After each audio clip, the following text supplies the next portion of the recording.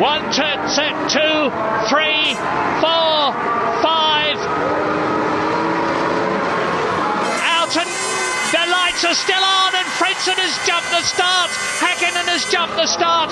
Now they were on for a fantastically long time. There is a mandatory period when those lights must go out.